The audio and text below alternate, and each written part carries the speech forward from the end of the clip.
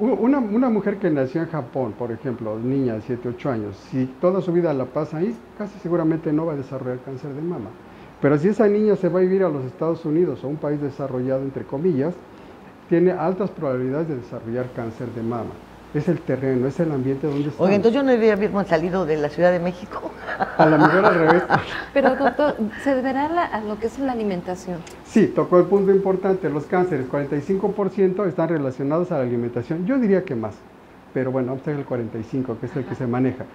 Eh, otra de las cosas que afectan mucho es el sedentarismo.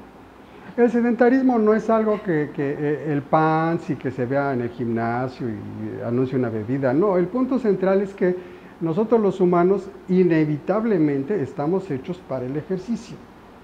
Porque nacimos, bueno, se originó según la ciencia, un lugar en África, nació el ser humano y tuvo que emigrar a todos los demás lugares del mundo. Y fue caminando, hablamos de la prehistoria. Entonces nuestro cuerpo bueno, sabe... Casi todos los mamíferos. Sí, o sea, sabe nuestro cuerpo que está hecho para el ejercicio, se quedó acostumbrado como mecanismo de desintoxicación, etcétera, etcétera. Entonces, es bien conocido que el 80% de las personas promedio no hace un ejercicio regular.